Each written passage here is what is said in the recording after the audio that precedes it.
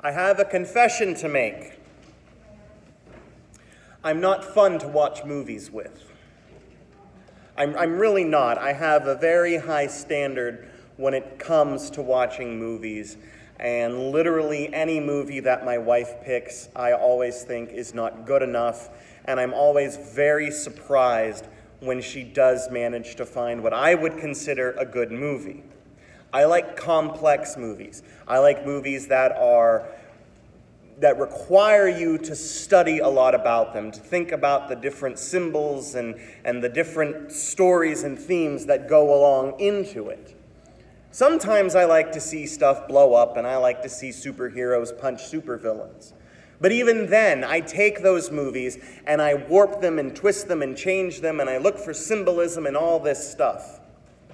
It's kind of boring, actually, and I blame it on the fact that I was an English major. You see, as an English major, what they teach you and what they tell you to do is to read into the text, which is wonderful. It's great to have all of these great thoughts and these ideas, and you say, oh, the author said that the room was blue. This means that the author was depressed, or he is trying to show something along the lines of sadness or mourning when talking about this room. And nine times out of ten, do you know what the author means? When he says that the room is blue? He means the room is blue. That's it. Now, understand that I have a, my, my best friend is also uh, an English major turned into a pastor. Actual conversations we have at times are not necessarily about the merits of infant baptism or doctrines of grace, but we will sit down with one another and dissect Star Wars. We will discuss the themes, how the saga is like poetry, how it loops back on itself, how there are issues of loss and all of these wonderful things. Now, please keep in mind, we don't do this to be boring, but we are literally overanalyzing a movie about magic space wizards. And that's fine. It's sometimes fun to do those things, but it can lead you to this place where you look at something and you automatically put yourself into it in some way. You see, you're trying to figure out the meaning of something that means to you. A long time ago, there was this wonderful art movement called Dadaism, which was inherently art with no meaning. You would see something like a vacuum cleaner with handcuffs on it. And you would be possibly struck by it because it, it, shows the oppression that machines have or, or the roles that people have in society. And you would put all of these things into this artwork. And the artist would say, no, it's literally a vacuum cleaner with a pair of handcuffs on it. The goal of Dadaism was to elicit some sort of an emotional response from the person who saw the art.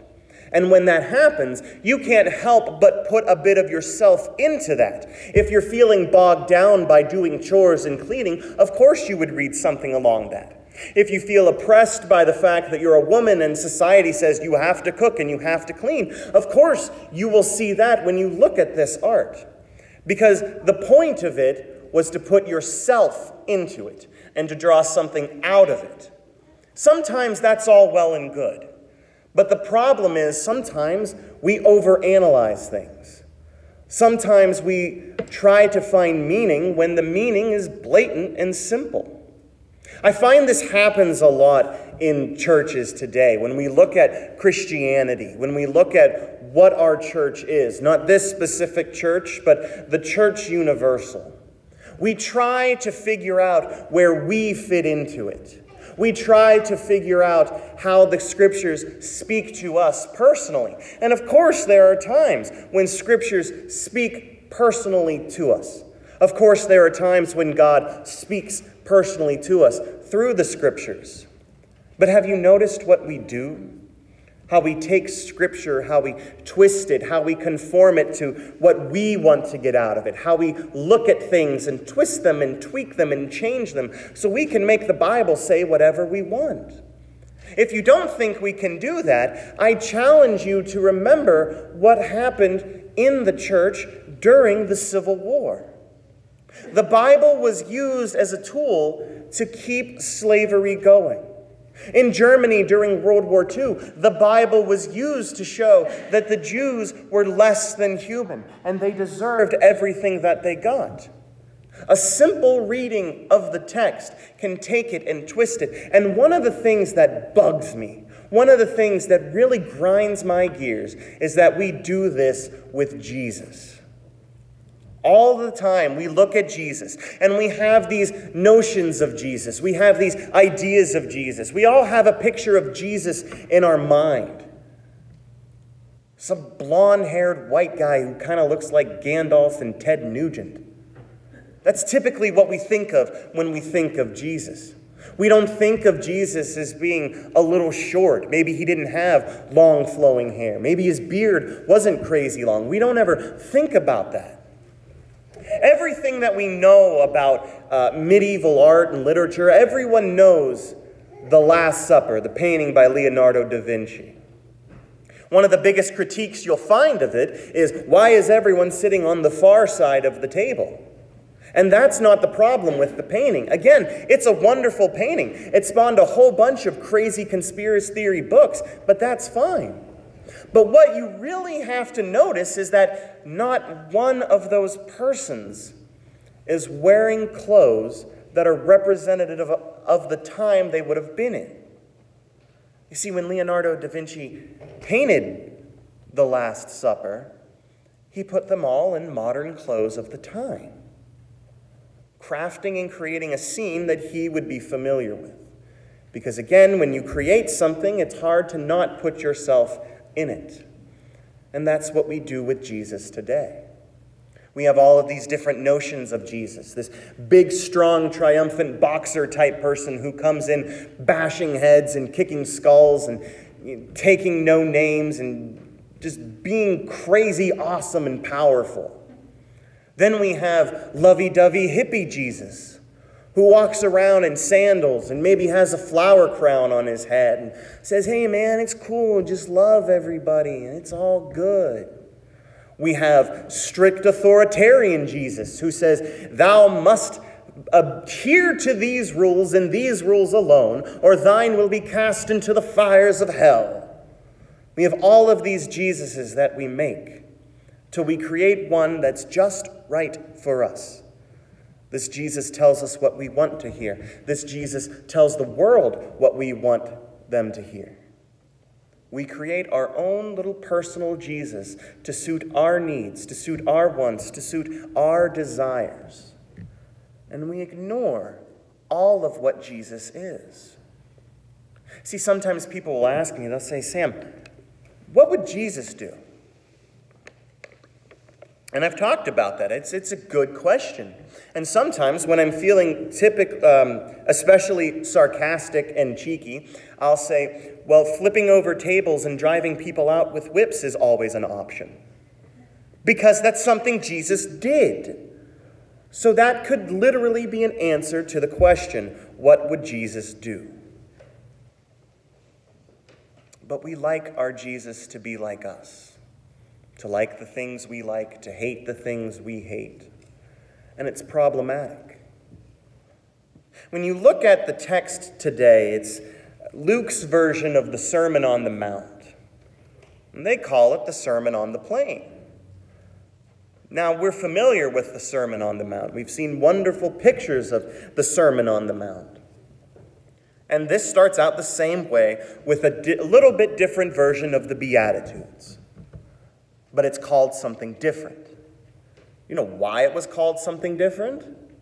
Because of where the person Luke talked to was standing when they heard it. You see, Matthew's getting his account while he's up on the mount with Jesus.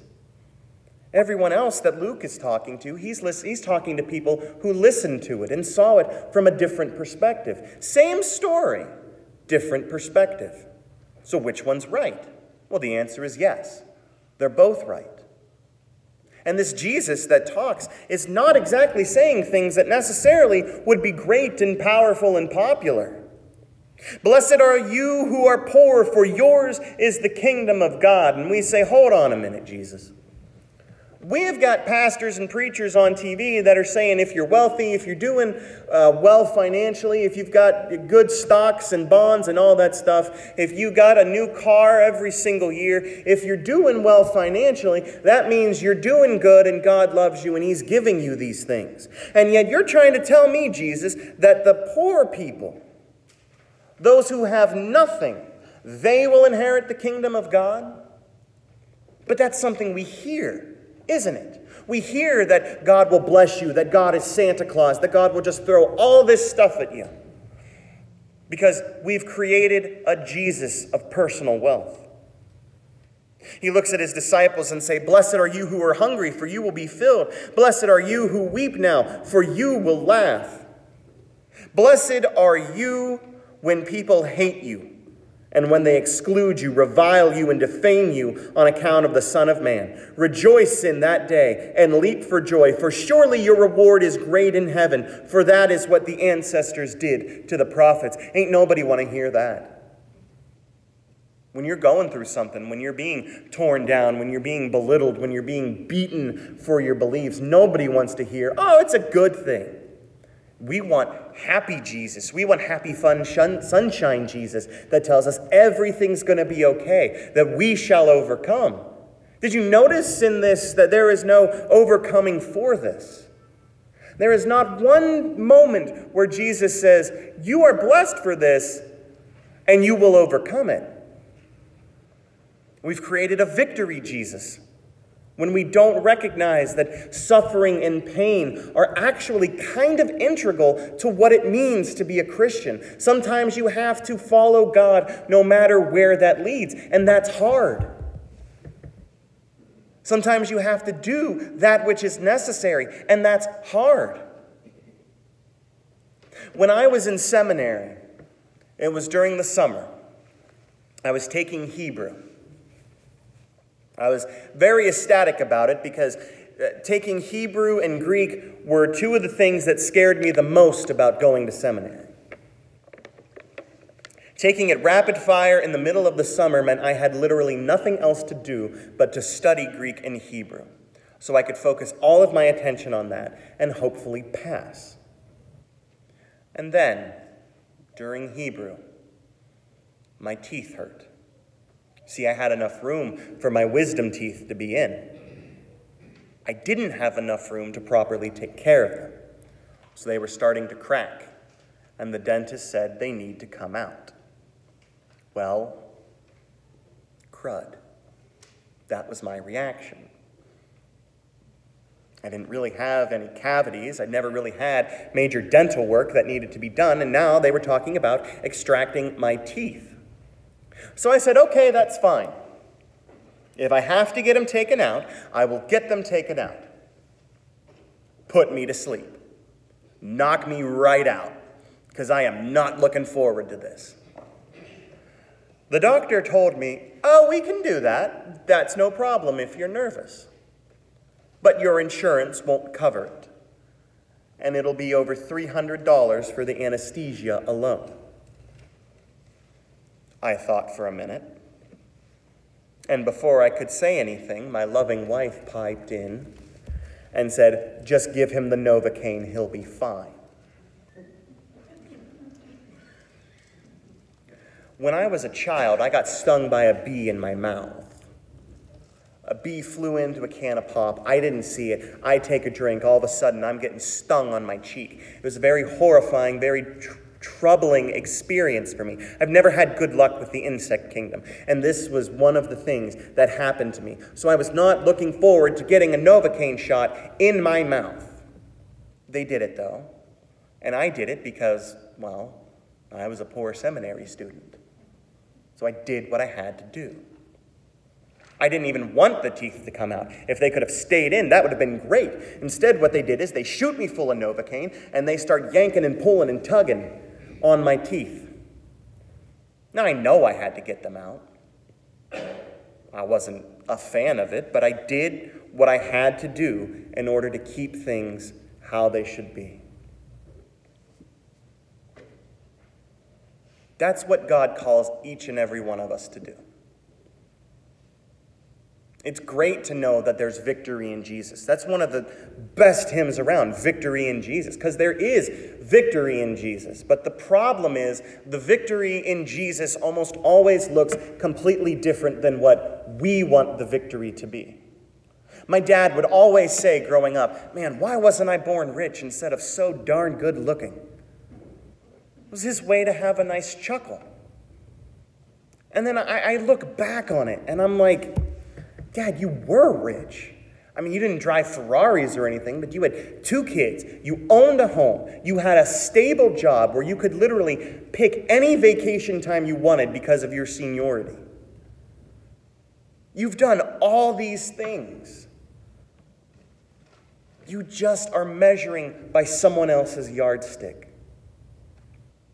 And sometimes we need a reality check, don't we? Sometimes we really need to look at the words of Jesus and to see what Jesus says and to see what Jesus wants us to do. So it's hard for us to grapple with these words blessed are the poor, blessed are the meek, blessed are the hungry, because we don't want to do that. We want to be number one. We want to be the best. We want bigger and better and more money and all this stuff. And that's not what God is calling us to do at all. God is calling us to be a faithful disciple of Jesus Christ, no matter what.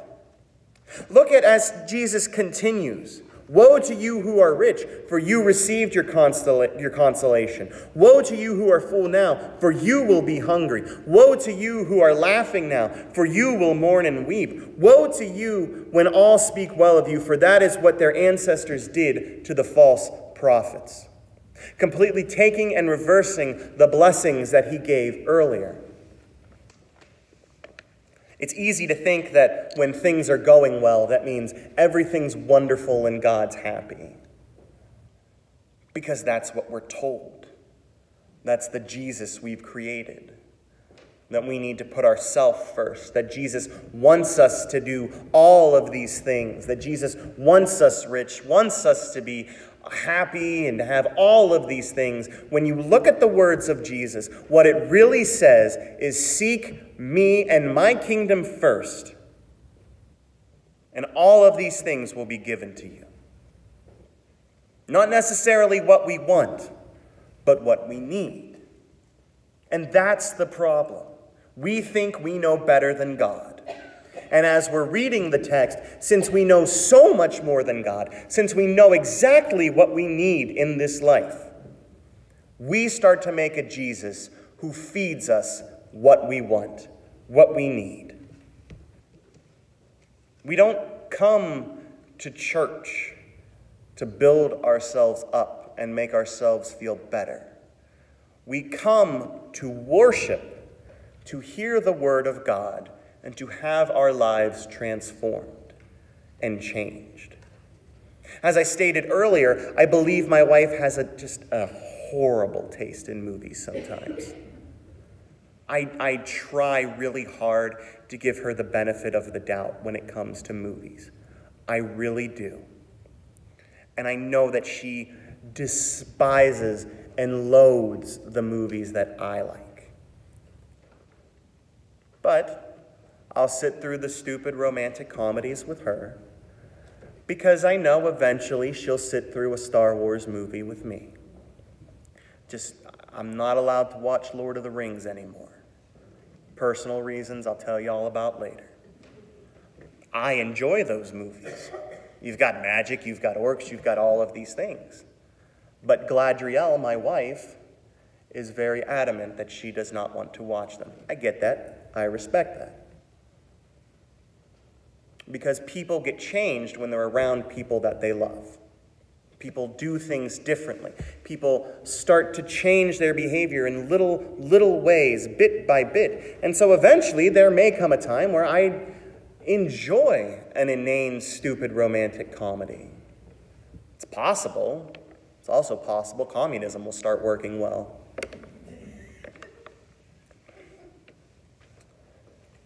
But our goal as Christians is not to fill ourselves. And when we look at the words of Jesus, when we look at the words of Christ, our goal is not to fill ourselves, but to be empowered to go out into the world and to do as God calls us to do. to be with those who weep, to be with those who are sad, to be with those who have lost things, and to show them, to show this world, to really make a difference in this world, to show them and teach them that there is a God who loves them, a God who wants to be with them, a God who desperately, desperately wants to be with this world. It ain't always flashy. You probably won't make a bunch of money from it. But that's what the real, authentic Jesus calls us to do. Thanks be to the God who loves us and guides us, especially when we take him at his own word. Amen.